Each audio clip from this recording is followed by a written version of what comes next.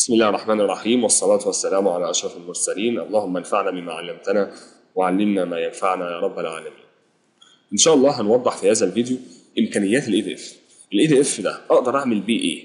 طبعا في إمكانيات كتير قوي نوضحها في الكورس بتاعنا ولكن أنا بس اخترت إن أنا أتكلم على بعض الإمكانيات زي سهولة التعامل مع الداتابيز. بمعنى لو أنا مثلا بعمل صفحة إدخال أو بحث أو تعديل أو عرض للبيانات من جدول معين آخد في الوقت ده قد إيه؟ هل أنا مثلا ممكن آخد وقت كتير عشان أكتب كود عشان أحفظ أو عشان أعدل أو عشان أمسح كل الكلام ده كله يحتاج وقت قد إيه؟ زائد كمان شكل الصفحة ممكن يبقى عامل إزاي؟ فأنا عايزين نوضح إمكانيات ال ADF في الموضوع ده بتبقى عاملة إزاي؟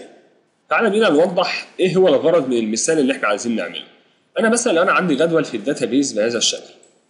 جدول يحتوي على بيانات الموظفين بتاعي. وأنا عايز أعمل صفحة الصفحة دي هعملها لل user ال user ده المفروض اللي هو هيعمل عمليات على الجدول. إيه هي أشهر العمليات اللي على الجدول؟ اللي أنا أعرض البيانات من الجدول عايز اوري له البيانات زائد اللي أنا ادي له إمكانية اللي هو يعمل بحث وتعديل بحث وتعديل ومسح وإدخال جديد طبعا وحفظ في هذا الجدول. حاجة زي دي ممكن تاخد مني وقت قد إيه؟ وإيه هو مقدار الكود اللي أنا أقدر اكتبه عشان أعمل حاجة زي دي؟ تعال نتفرج مع بعض حاجة زي دي ممكن تتعمل إزاي. أنا مثلا هفترض إن أنا عندي جدول موظفين في ال database بتاعتي. فاقول تاني بس قبل ما أبدأ أنا مش هشرح ADF أنا بس عايز عايزين نتفرج مع بعض إيه هي بعض إمكانيات ال ADF أنا مثلا هبتدي أعمل الصفحة بتاعتي.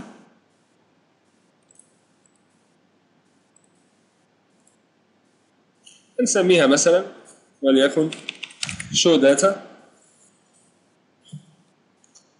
حضرتك عايز تعمل إيه بقى؟ عايز أعرض بيانات مثلا جدول الموظفين بتاعي. طيب حاجة زي دي ممكن نعملها إزاي؟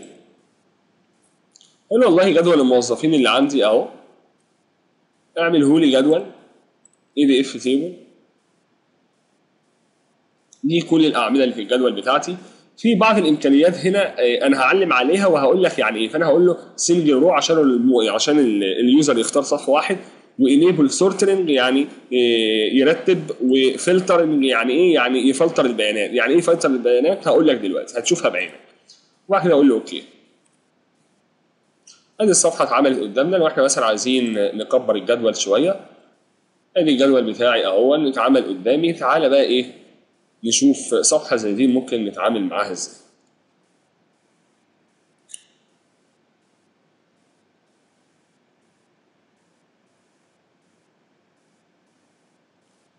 ادي الجدول قدام عينينا اهو زي ما انت شايف.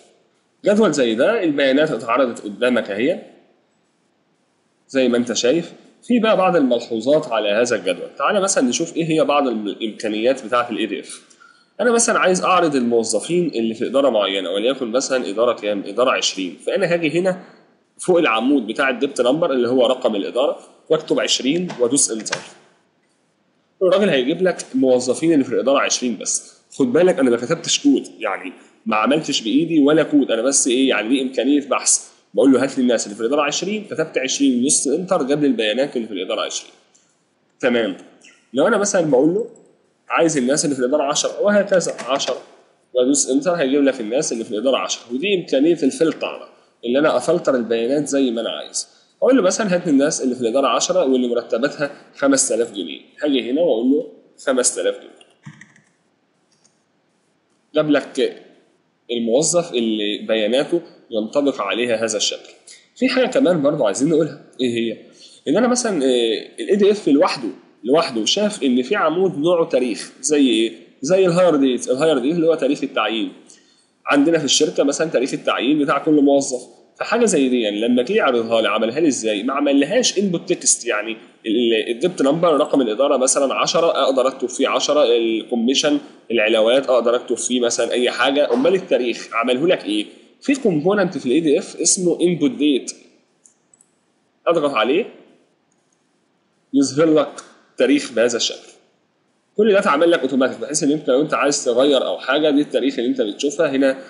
يناير وفبراير ومارس وإبريل زي ما أنت شايف كده واختار السنة اللي أنا عايزها ألعب فيها زي ما أنا عايز أنزلها تحت أكبر أجيب السنة اللي أنا عايزها أختار اليوم اللي أنا عايزه ويغير لك اليوم زي ما أنت عايز. تمام؟ فحاجة زي دي هو عملها لك اوتوماتيك من غير أنت ما تعملها. فهو ظبط ال components على حسب أنواع الإيه؟ على حسب أنواع الاعمده طيب في إمكانية إيه؟ تعالى بس نعرض البيانات بقى زي ما كانت. هنشيل بقى ال criteria بتاعت البحث نرجعهم زي ما كانوا عشان نعرض كل الموظفين كلهم هم. تعالى مثلا إيه في إمكانية إيه إعادة ترتيب الأعمدة بمعنى ان أنا مثلا عايز أرتب إيه عايز أرتب البيانات الموظفين بأرقامهم أرقام الموظفين بتاعتهم تصاعدي ولا تنازلي الكلام ده كله. فأنا قلت له إديني إمكانية الترتيب. فأنا هاجي مثلا على رقم الموظف اللي هو ال emp number تمام؟ هقول له مثلا رتبهم لي إيه رتبهم لي تصاعدي. كده يرتبهم لك تصاعدي. يعني من الصغير للكبير زي ما انت شايف كده. أو تنازلي أهو. فرز تنازلي أهو. رتب لك الموظفين تنازلي. طيب افرض لو أنا عايز أرتبهم بس أرتبهم أبجدي أعمل إيه؟ هاجي هنا على ال E name اللي هو اسم الموظف فانا عايز أرتبهم ترتيب أبجدي. فرز تصاعدي نفس الكلام. اهو حرف ال A الأول وبعد كده ال B وهكذا لحد حرف ال W تحت. لو أنا عايزهم تنازلي. فأنا بختار إن أنا أرتب الأعمدة أو ال user بتاعي بمعنى أصح هيرتب الأعمدة زي ما هو عايز. زي كمان اللي هو ممكن يغير ترتيب عرض الأعمدة. بمعنى أنا عايز مثلا رقم الإدارة يجي بعد ال E name فأنا ممكن ال user بتاعي ممكن يشد العمود ده أهو. drag و drop يسحبه معاه زي ما هو عايز. معايا. أهو. كده أنا جبت عمود ال dept number drag و drop زي ما أنا عايز. طبعا الموضوع ده من غير ولا ولا مكتوب سطر إيه ولا كتبت سطر كود. طبعا أنت شايف مدى السهولة اللي في الموضوع فكده عمل لك الجدول وعرض البيانات وعمل بحث كمان. كل ده في حاجة واحدة. طيب لو أنا مثلا عايز أعمل إيه؟ عايز مثلا هذا الموظف عايزين مثلا نحط له commission وليكن مثلا ال commission بتاعه هنخليه له 100 جنيه. فأنا دلوقتي عايز أعمل عملية إيه؟ عايز أعمل عملية حفظ للبيانات. أو عايز أعمل موظف جديد عايز أدخل موظف جديد. الإمكانية دي أقدر أعملها إزاي؟ طبعا هاخد وقت كتير علشان أعمل كود وأكتب البيانات والكلام ده كله. تعال بص هنعمل الموضوع ده إزاي. حاجة زي الإدخال والتعديل والحفظ والكلام ده كله ما عليك إنك بس هتسحب زرار ال commit.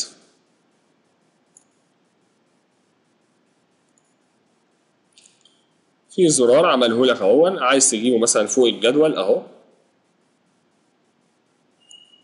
ده زرار commit. لو انت عايز تكتب عليه مثلا حفظ فانا هكتب عليه في الخصائص بتاعته. هكتب عليه save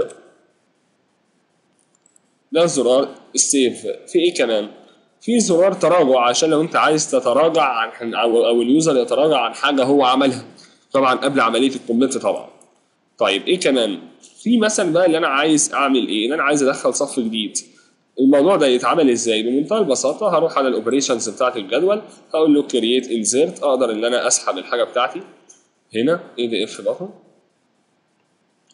أقدر أكتب عليه new emp موظف جديد. زائد كمان ان انت عايز تعمل إيه؟ مسح. فانا أقدر أجيب execute delete اهي. أجيب زرار delete مسح. زي كمان مثلا لو أنا عايز اعمل refresh للبيانات أقدر أجيب زرار execute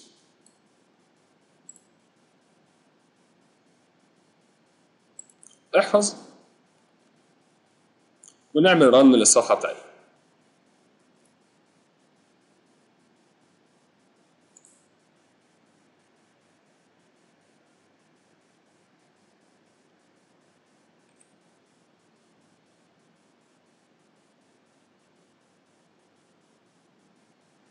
عرض لك البيانات إيه نفس الإمكانيات معاك. تقدر تعمل بحث زي ما أنت شايف.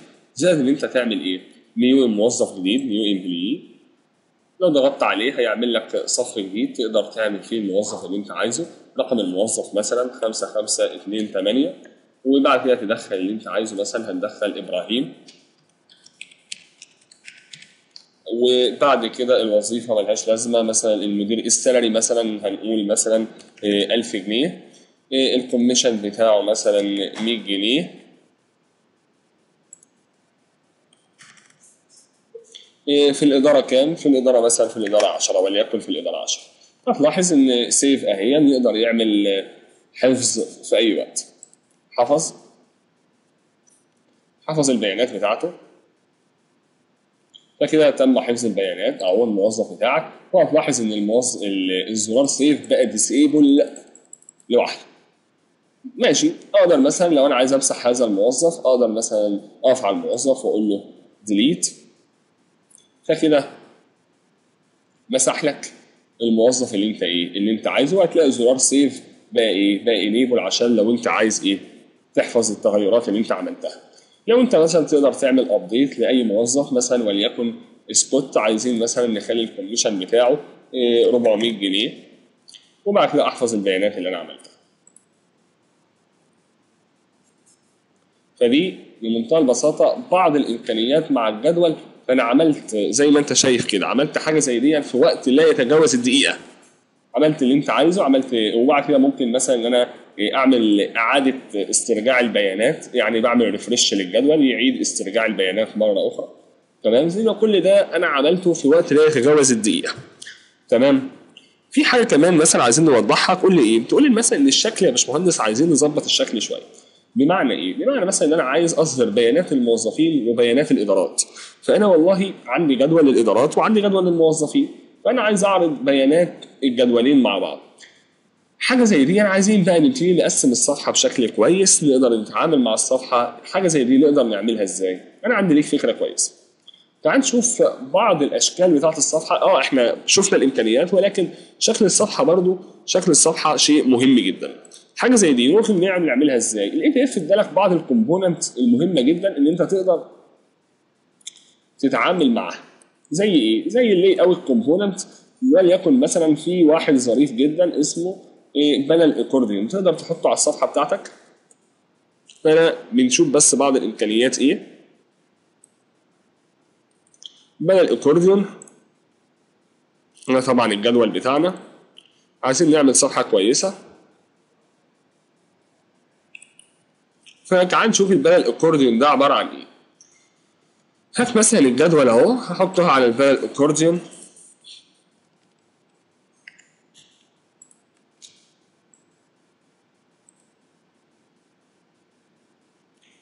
فدي حاجة زي دي أهي. هاجي مثلا على أول سطح هكتب مثلا عليه بيانات الإدارات. أو بيانات الموظفين. فيكتب لك العنوان فوق بيانات الايه؟ الموظفين طيب إيه كمان؟ عايز مثلا الزراير دي نخليها جنب بعض. فممكن أجيب حاجة اسمها إيه panel group مثلا عشان نظبط الشكل كويس. نقدر نحط فيها الزراير. كده جنبهم لك جنب بعض كده بشكل كويس وشكل محترم. طيب لو أنا مثلا عايز أعمل إيه؟ نحفظ الأول. لو أنا عايز اعرض بقى بيانات الإيه؟ بيانات الإدارات. بيانات الإدارات نفس الكلام هتلاقيها برضو عندك هنا هنلاقي مثلا الدبت بيانات الإدارات. عايز أحطها مثلا على إنها جدول. وده الجدول بتاعنا. وهنخلي العنوان مثلا وليكن. عايزين العنوان نظبطه فدي هتبقى بيانات الإدارات.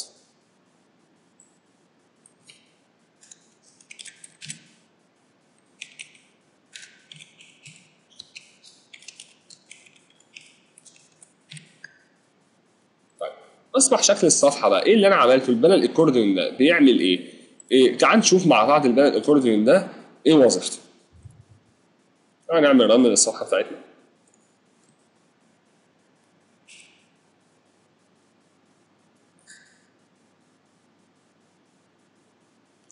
زي ما أنت شايف كده عرض لك بيانات الموظفين زي ما أنت شايف. عايزين نعمل إيه؟ عايزين نعرض بيانات الإدارات. ممكن يجي كده.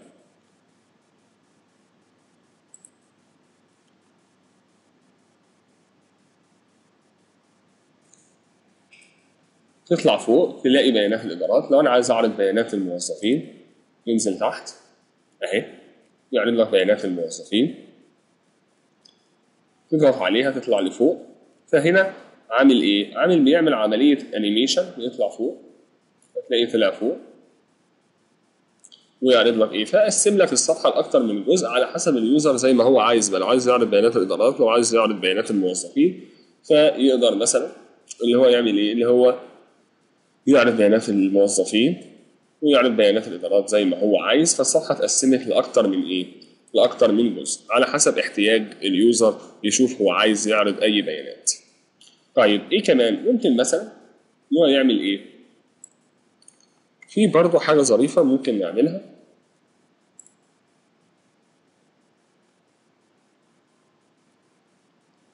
ممكن مثلا نحط حاجة هنا أهو. ونحط عليها الجدول بتاعنا.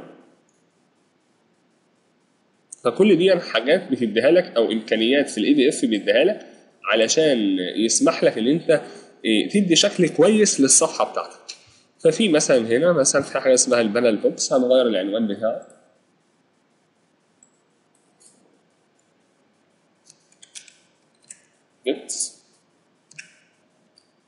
مثلا. لو أنا مثلا عايز أعمل إيه؟ عايز أعمل إدخال وبحث وتعديل لهذا الجدول هروح على ال operation بتاعه وأجيب مثلا إيه؟ create insert مثلا أحطها على ال toolbar الزرار ده مثلا عشان أدخل إدارة جديدة هقول له new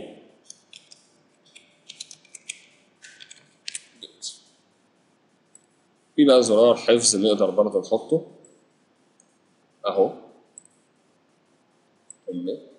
هنحطه جنب الزرار. دي اف بطن تعال نشوف الشكل هيبقى عامل إزاي. نعمل رن للصفحة بتاعتنا.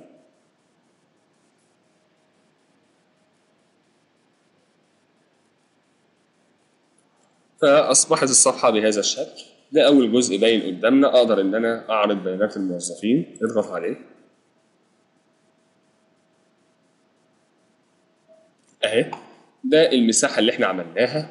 ده الزرار محطوط اهون والإدارة والزرار بتاع ال new department أقدر إن أنا أخفي البيانات وإن أنا أظهرها. فبعض ال component بتدي لك عملية animation اللي أنت ال user على حسب احتياجه لو عايز يظهر عايز يظهر البيانات لو عايز يخفيها مؤقتا. زائد إن هنا new department الزراير أنا لسه شايفها. ممكن مثلا لو هو عايز يدخل إدارة جديدة هيجي يقول له new department يدخل الإدارة اللي هو عايزها. يدخل مثلا اداره رقمها 50 واسم الإدارة وليكن مثلا إدارة ال IT مثلا وفي أي مكان مثلا في المنصورة. ولو عايز يحفظ طبعا إيه هيضغط على commit. وأنا كده عملت تقسيمة كويسة طبعا للصفحة بتاعتي قسمتها لأكتر من جزء بيانات الإدارات وبيانات الموظفين زائد مثلا في الصف في الجزء الواحد قدرت أقسمه بحيث اللي هو ممكن يخفي البيانات وممكن يظهرها على حسب زي ما هو عايز. دي بالنسبة لبعض إمكانيات ال ADF مع ال database في برضه حاجة ممكن نقدر نعملها بال ADF اللي هي ال chart أو الرسوم البيانية. نقدر مثلا إن إحنا نعرض رسم بياني يوضح الموظف والإدارة بتاعته أو مجموع المرتبات في كل إدارة. فتعالى مثلا ناخدها ببساطة تعالى مثلا نوضح الموظف رسم بياني يوضح الموظف والإدارة بتاعته في رسم بياني. تعالى مثلا نعمل مثلا صفحة بتاعتنا اهي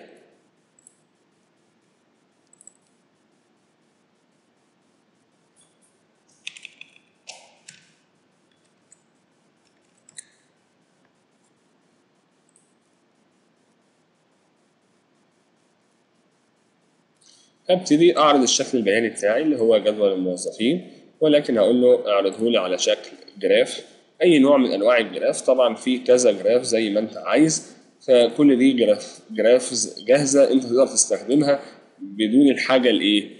لأي كود أو أي حاجة خالص. فأنا هختار أبسط شكل فيهم اللي هو البار الشكل المألوف بالنسبة لنا.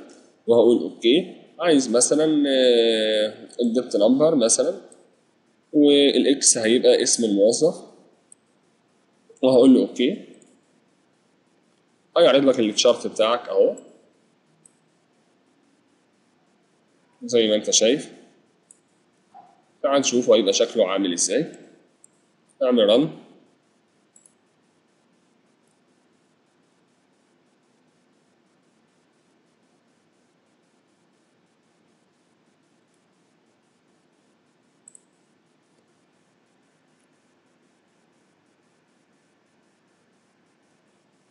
فده الصفحة الصفحة لما فتحت آه ده هذا الشكل ده أسماء الموظفين بتوعنا ودي أرقام الإدارات زي ما أنت شايفها. طبعا ده عملناه وإحنا إيه؟ وإحنا ما كتبناش ولا سطر كود. طبعا بقى أقدر ألعب بقى إيه اللي أنا أجيب مثلا الإدارات ومجموع المرتبات في كل إدارة طبعا ده بقى من خلال ال course إن شاء الله. طيب إيه كمان؟ في برضه إمكانية بسيطة جدا إيه هي؟ إن أنا مثلا ده 2 dimension هو أنا أقدر أخليه 3 dimension؟ آه تقدر تخليه 3 dimension آه. تعالى نحفظ. ونشوف الشكل هيبقى عامل إزاي.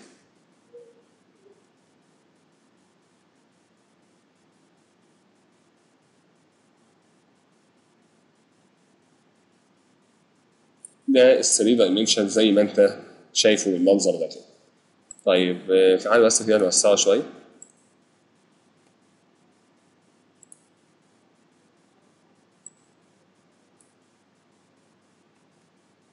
طيب إيه نقدر نضيف فيه حتة animation صغيرة.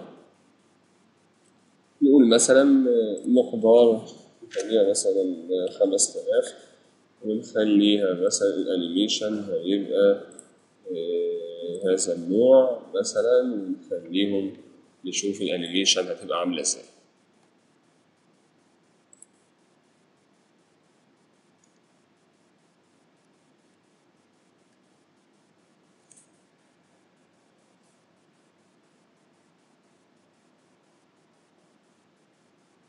فطبعا بيظهر بهذا الشكل قدامك.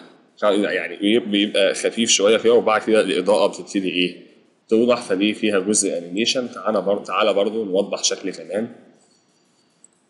خليه مثلا auto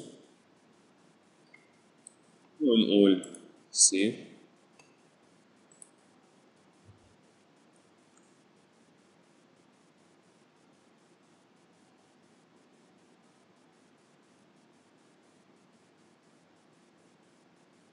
ده انيميشن برضو تقدر إن أنت توضحه. طبعا يا اخوانا الكلام ده أنا أكرر إحنا عملناه من غير أي مجهود.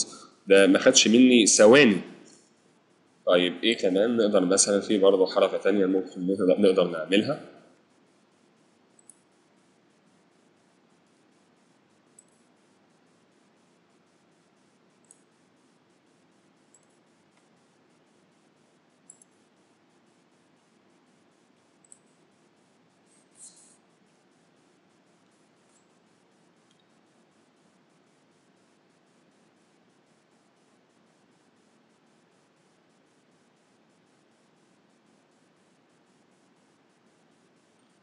واضح ال animation ففي كذا شكل على حسب ما انت حابب بقى توري لل user أو على حسب ما ال user يقول لك أنا عايزها تظهر بأي شكل.